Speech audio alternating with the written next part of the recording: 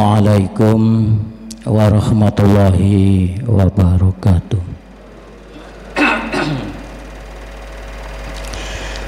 Alhamdulillah. Alhamdulillahilladzi hamdan kasiran tayyiban mubarakan fi. Asyhadu an la ilaha illallah wahdahu la syarikalah. Wa asyhadu anna Muhammadan abduhu wa rasuluh Allahumma shalli wa sallim wa barik ala hadan nabil karim wa ala alihi wa ashabi ajma'in wa man tabi'ahum bil isan ila yaumiddin. Amma ba'd. Fa ya ibadallah usikum wa nafsi bi taqwallah faqad fazal mutakun Masyaallah muslimin hadirin jamaah rahimakumullah dalam kesempatan yang berbahagia ini tentunya kita patut bersyukur kehariban Allah Azza yang pada pagi hari ini kita semua telah diberikan kenikmatan oleh Allah Subhanahu wa taala. Kenikmatan berupa berbagai macam kenikmatan.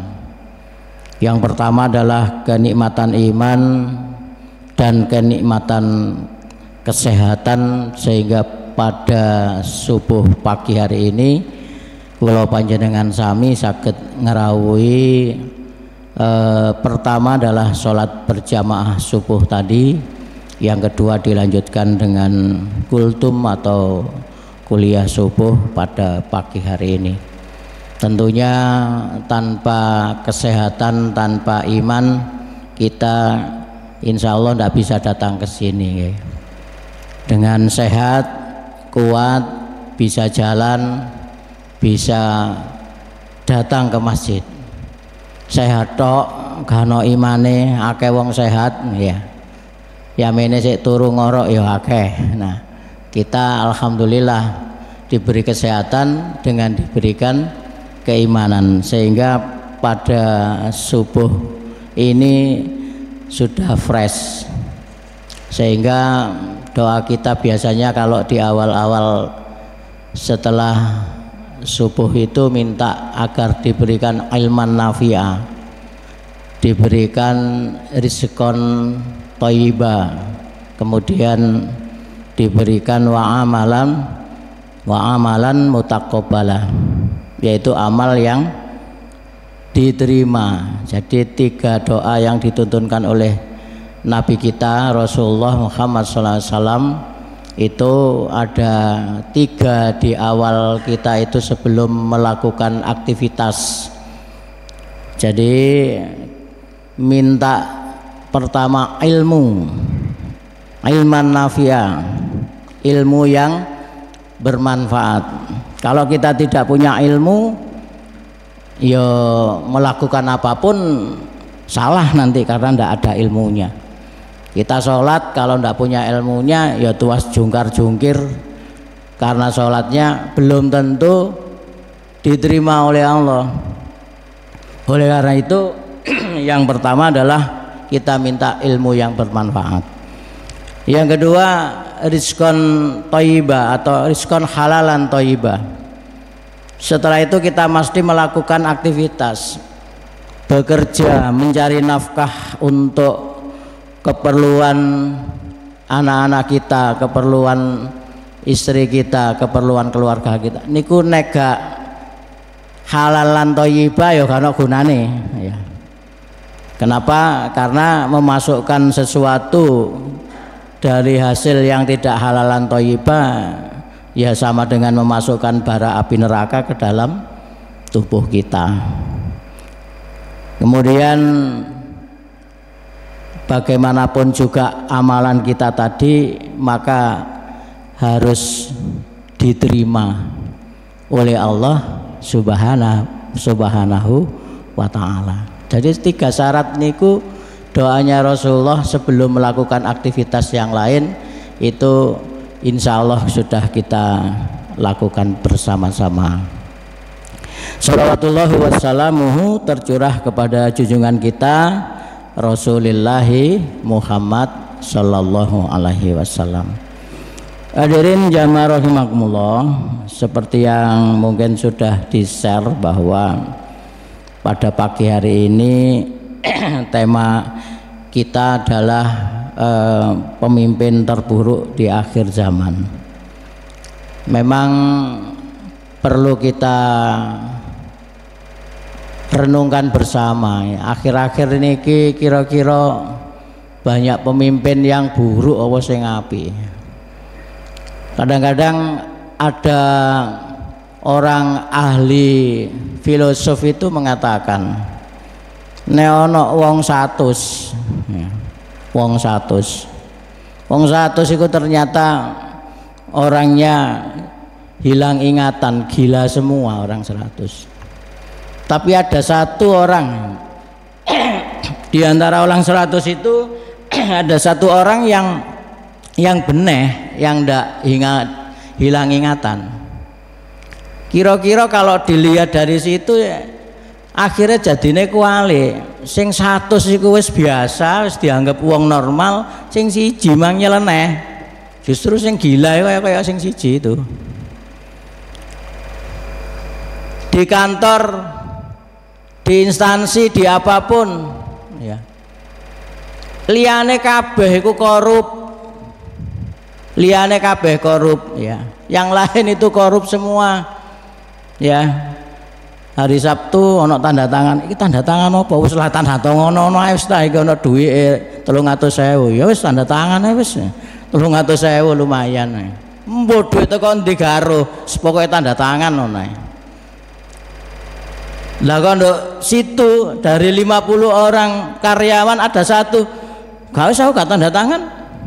Karo iki duit sekondi mang ya apa? Gak tanda tangan kira-kira sing bener sing ndi orang pasti mengatakan kau niku gak patek bener wong liyane sekarang tanda tangan lho kok gak gelem iku lho ya.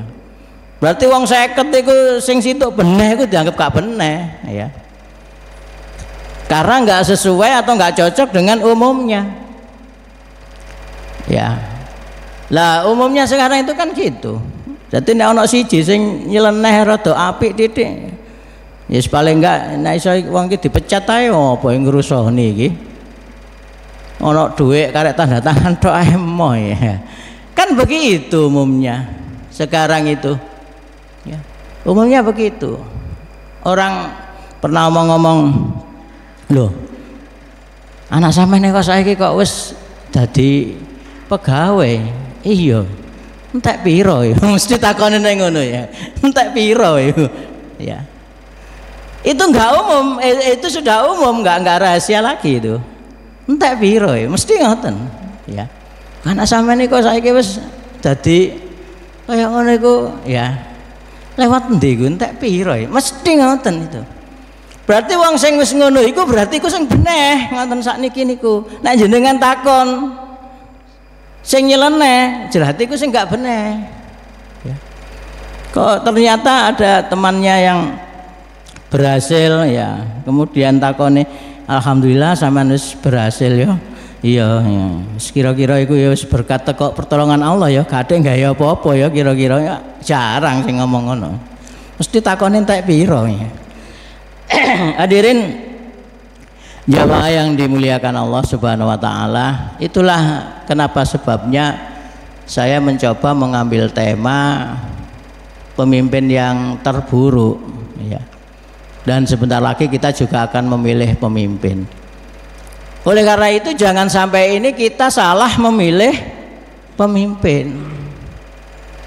Ya, salah memilih pemimpin tahun 2024 niki adalah awal tahun miladia ya awal tahun masehi biasanya kalau para ustadz itu mesti ngomongin ngeten bapak-bapak ibu-ibu ini kan awal tahun baik itu hijriyah maupun miladiyah kalau panjenengan niki yang pertama mesti harus muhasabah.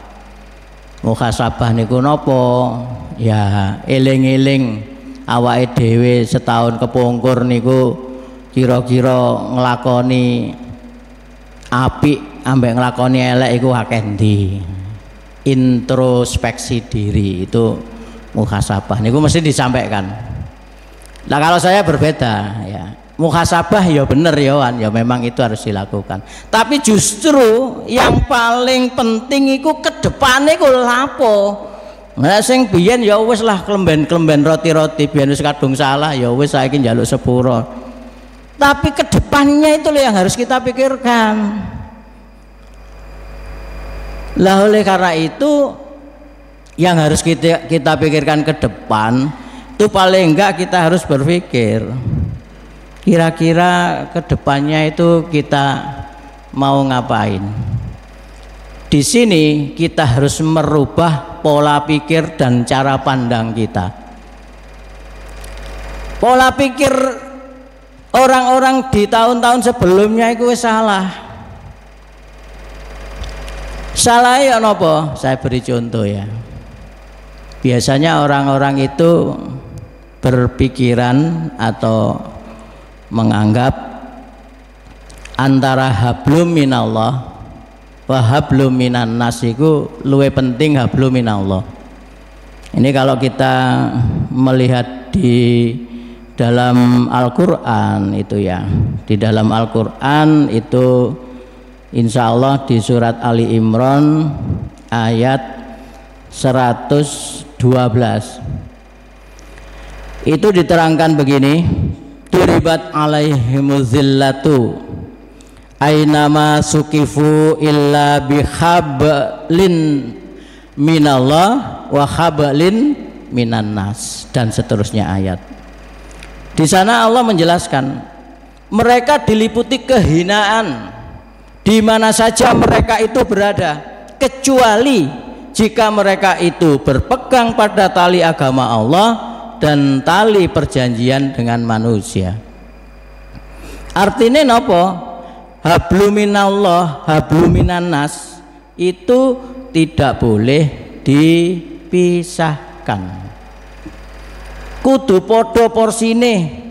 Habluminallah habluminanas itu porsinya harus sama.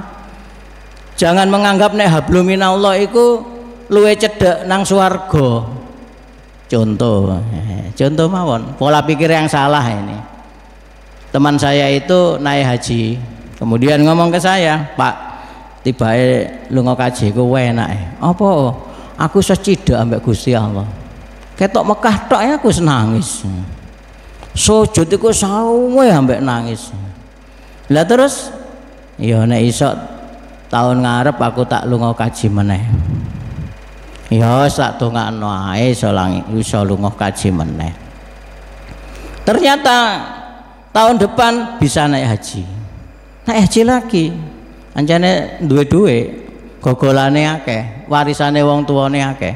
Tahun depan bisa naik haji lagi. Kira-kira wis ping 5 mbok ping 6 ngoten lho kajine. Terus saya kembali tanya lagi.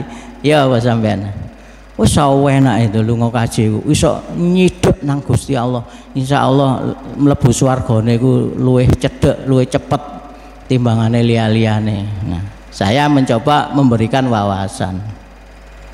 Sampean lunga kaji ku bondone pira nek sakniki anggap ae 50.000 wis 50 juta ngoten nggih. Ya sampean nek wong loro wis pira sampean wingi ambek anak sampean loro ya berarti wong papat wis pira rong atus juta rong atus juta ya men ping lima wis piro ya kira-kira sak eman ngono ya sak em. Umpama sampean niku lunga kaji pisan ae. Mergo wajib lunga kaji ku pisan tok. Apa meneh umroh iku sunah Sampean luwe punya kewajiban menyantuni anak-anak yang sekarang sudah di pendidikan itu. Nduk kono ono madrasah dinia, nduk kono ono madrasah iki, iku nduk kono iku adalah generasi penerus bangsa. Apalagi uh, apa itu sekolah-sekolah Islam duit sampean sing satu emang. Coba digawe bandani arek-arek iku adalah generasi-generasi penerus bangsa yang paham akan agama Islam dan seterusnya. Sampean menikmati sampean lo oleh kiriman untuk arek-arek iku sampean. Nah sampean lunga kaji sampean menikmati jek oleh kiriman pahalane lunga kaji. Pola pikir yang salah yang harus dirubah ya mergo mikir nek lunga kaji bolak-balik iku luwih cepet mlebu swarga. Burung karuan. Wong Gusti Allah mengatakan kok hablum minallah wa hablum nas iku kudu imbang. Loh kok mendeleng Bapak-bapak jadi begini pola pikir kita harus kita rubah. Gue contoh pisan kas nggih situ kas mau kata nek contohnya kata. Ya pada waktu ini sebentar lagi kita kan akan masuk bulan Ramadan ya. Nah biasanya naik Ramadan di malam-malam terakhir nih lah enten iktikaf. Nggak tahu masjid ini ada nggak? Ada mestinya ada iktikaf. Pada waktu iktikaf saya itu jejer-jejer kan iktikaf niku.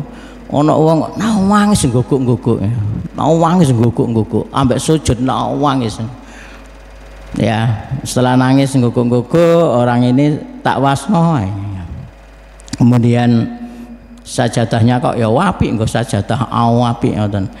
Selesai loh wong iku tibake kendaraannya itu Pajero Sport nggih nggawa mobil Pajero Sport kira-kira nek Pajero Sport itu soge tak gae jelas soge nih Pajero Sport e piro regane? Paling enggak setengah M ya. 500 jutaan nggih.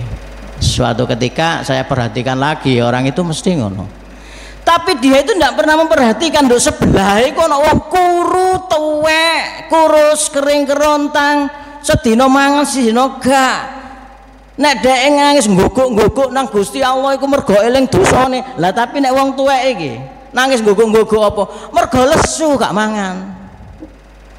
Lah dhek duwe kaya ngono sakmono kae lho gak mikir lho kono akeh jamaah sing sakjane kudu ditolong. Mestine ditakoni situk-situk Pak sampai niku kok ngeten napa nggih kula niki anjene pun mboten ada keluarga kula niki pun sebatang kara sebatang kara mek gak ono gak ono anake gak ono kabeh kijenan oh nggih nek ngoten mestinya datang ke rumahnya Oh, panjenengan perlu nopo? Bila perlu disantuni, masa iku duduk anake. Apakah dia tidak pernah mendengarkan pengajian? Nabi itu loh berfirman bukanlah orang yang beriman jika kamu itu bisa tidur nyenyak mergo wareg. Tapi tonggomu itu lo gak bisa tidur nyenyak gara-gara keleson. Bukankah kamu itu orang yang beriman? Gak beriman kon iku soge kaya ngono tumpakane pajero sepot gak erut tanggane melarat sampai kaliren gak direken. Loh itu loh namanya pola pandang yang sekarang ini banyak orang yang salah. Mikirin ada yang jungkel nang Gusti Allah ben mari ngono ndonga ngene mlebu swarga dhisik ngono ta? Gak mikir donya iku kanggo sapa? Donya iku dudu kanggo kontok. Donya iku ya kanggo wong liya. Kon tak rezeki berlimpah ruah itu sebagian itu punya haknya fakir miskin halo. Napa niku mboten pola pikir sing salah? Yang perlu dirubah. Itu tahun baru itu mestinya kita harus merubah pola pikir yang salah. Kurang hitung menit ya Pak. Kurang hitung menit ya dibatasi mek telung puluh menit ya. Batasi telung puluh menit lah termasuk pola pikir yang salah ini ke depan kita akan memilih pemimpin. Kula ngluyur nang warung kopi, kula ngluyur teng wong-wong niku. ya napa Pak? Tahun depan Allah, Pak, Pak padha Pak, Pak. Masa aku nyoblos sapa ae, presidene? Allah paling is negara ngene iki. Wis ngene iki apa meneh awak cilik is paling dodolan kopi ngene ae Bahasa apa presiden alas podo podo ket biyen ya ngono. Pola pikir yang salah iku jek lumayan nek mikir ngono tok. Bareng kula takon nang kanca kula, "Li akhire kon lho nyoblos apa?" Ya mbul aku mang bingung e. Nang jero bilik mang. Iki ngekeki 100. Iki ngekeki 50 iki ngekeki 75 aku ya nek misalnya nyoblos iki sing akeh ku ya sakno sing iki wong iki ya kancaku Lah ya apa? Ya tak coblos kabeh telune. Ini banyak pola pikir yang salah di negara kita ini apa meneh wong cilik-cilik niku wis gak ngereken. Lah padahal memilih pemimpin itu adalah kewajiban kita sebagai umat Islam dan ojo sampai keliru. Seumpama saya sudah milih dari pemimpin ini, oh si A iki sing ketoke iso memperjuangkan Islam. Oh si A iki sing cocok karo nabi, amanah, fatonah dan lain-lain itu ya kriterianya pemimpin yang baik adalah yang sesuai dengan Rasulullah. Wis iki tak coblos iki wis belum. Lo kok mene-mene kok dadak dhek melarah ngono. Lo gak salah kan saya. Wong di awal-awal saya sudah memilih yang terbaik. Perkara mene-mene wonge mlarah, gak cocok. Lah iku urusane wonge, dudu urusane awak dhewe. Tapi nenek saiki wis seru. Oh iki ana wong pira, iki ana wong telu. Oh iki jelas gak gak gak anu gak apik ngoatok ambek iki. Oh iki jelas ngene. Nah, aja terus diawur kaya wong-wong mang. Sembarang pas padha ae masa sing dadi ABC lah itu loh yang perlu diluruskan.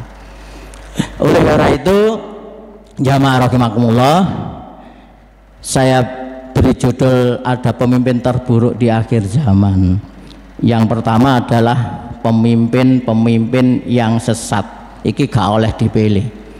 Ini ada hadis dari Ibnu Hibban innila akhafu ala ammati illa dan seterusnya hadis rotok dawa kula cuplik didik. Aku tidak takut ujian yang akan menimpa pada umatku kata Rasulullah SAW kecuali ujian para pemimpin yang sesat. Berarti ojo sampai milih pemimpin sing welek kaya iki pemimpin sing sesat. Nah sekarang ini kadang-kadang ngomong pidato awale wis sesat kok. Assalamualaikum warahmatullahi wabarakatuh. Hom santai opo ditambah opo? Namo budaya tetek bengek. Iku ngomong tak lho kait ngomong sesat ngono jare Islam wis lunga kaji barang. Ngomong tak lu sesat. Lah lapo atik mblara-mblara nang namo budaya tetek bengek iku lho? Ya?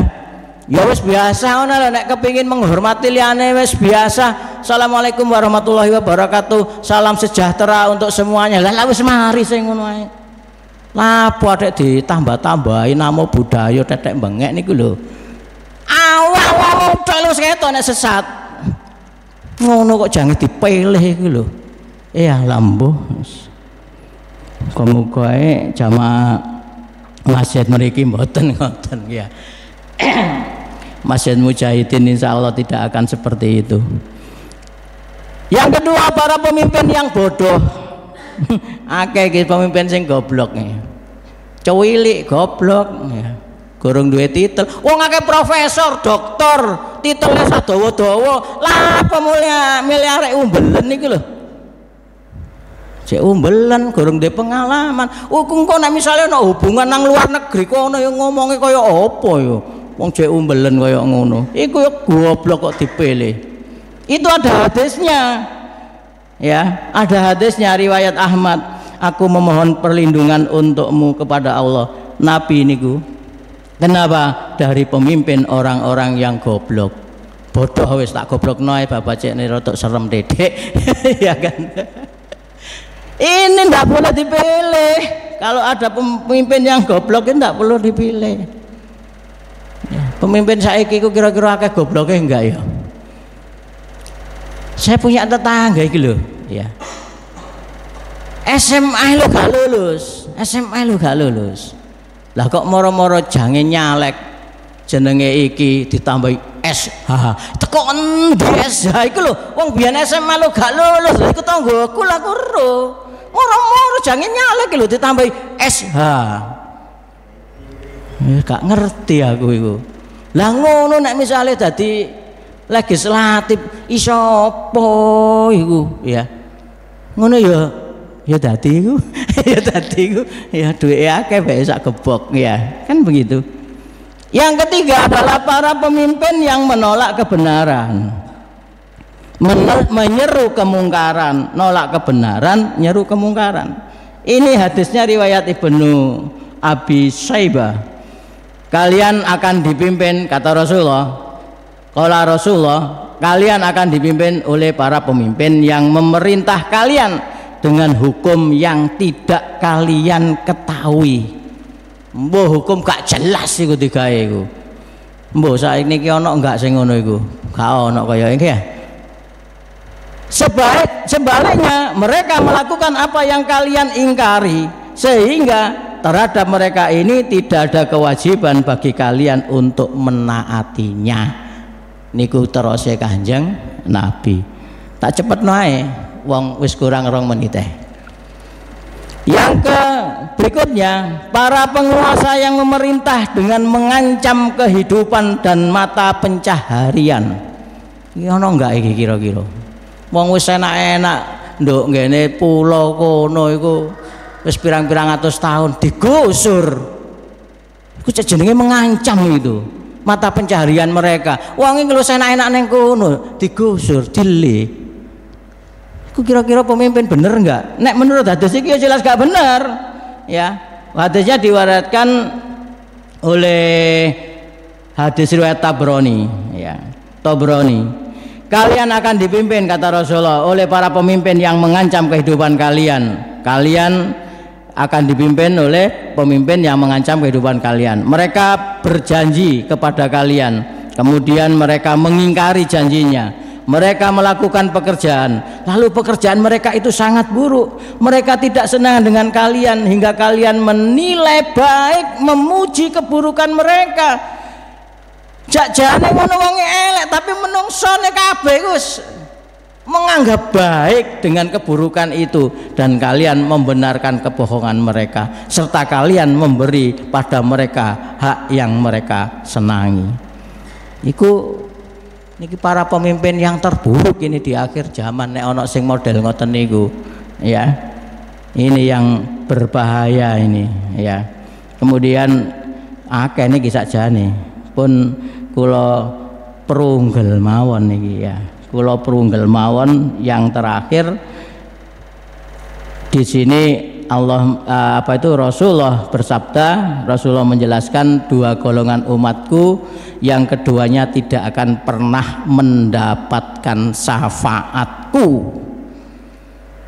yaitu pemimpin yang bertindak zalim dan orang yang berlebihan di dalam beragama hingga sesat dari agamanya gak oleh syafaat. Lah kira-kira sing milih wong sing model ngono. Oleh syafaat enggak ambek kanjeng nabi niki? Ya gak oleh. Elok-elok. Oleh salah melok wong sesat. Ya gak oleh. Kok iso gak oleh? Enggak karena melok-melok. Karena gak ini wong sesat dipilih. Ya jelas lah mereka itu melok sesat. Wong donggene Quran niku kata wong-wong sing biyen nang donya niku elok-elokan begitu jange mlebu eh, begitu dihisap ya Allah saya dulu kan hanya ikut-ikutan dia. Kenapa kok saya juga dimasukkan ke neraka? Nah wong sing melok apa sing diajak-ajak ngono karek ngomong lah kon biyen aku lho gak ngejak kon kon dhewe. Lah apa kon salah nyoblos aku iki lho? Lah ngoten nah kan itu sudah sering itu diomongkan itu di Quran sudah sering. Gak perlu tak baleni mana kan sudah sering begitu. Oleh karena itu pemimpin-pemimpin yang terburuk seperti ini ya. Pemimpin yang diktator ya. Pemimpin diktator tangan besi istilahnya. Kemudian seperti tadi ya. Pemimpin yang korup pemimpin yang apa itu tidak memperhatikan mata pencaharian rakyatnya ya sudah jelas itu kula niku lho nek takon nanggene wong-wong warung kopi ngoten iki ngoten niku jawabane ala Pak percuma Pak kaya ngeten niki napa malih biyen pandemi kaya ngoten niku warung kopi kula kula mboten saged ngedangno anak kula Lah bayangkan itu jam 5 wis toto-toto warung kopi ini. Enggak jam itu gak sampai jam itu. Wis kukuti. Lah terus kula angsal nopo niku? Ya. Lho ngono saiki digembar-gembarno pandemi jange ana corona maneh, varian terbaru. Lah sakno wong-wong iku lho. Ya. Pemimpin kok gak mikir ngono ya. Itu loh yang berbahaya. Jadi jamaah rahimakumullah barangkali karena waktu yang membatasi kita, insya Allah kita nanti jangan sampai salah memilih pemimpin terutama di dalam ke depan niki niki wis bulan Januari kurang saulan kas ya. Tanggal pinten? 14 Februari ya. Kita akan memilih pemimpin. Pokoknya jenengan pentelengi telung nomor niku ya. Pundi kira-kira sing betul-betul membawa aspirasi Islam kita? Kita mikirnya adalah pemimpin yang membawa aspirasi Islam. Nek wonge sing ngaku wis lunga kaji kabeh sih wong. Kabeh ngaku lunga kaji biasanya gak tulisannya haji. Yo saiki nek nduk TV-TV yo ngarep ono hajine kabeh mbuh aku wong-wong ku ya apa. Ya ngaku wis kaji kabeh sempawang ngeten iki biasanya gak tau keluyuran nang pesantren gak tau keluyuran yai-yai.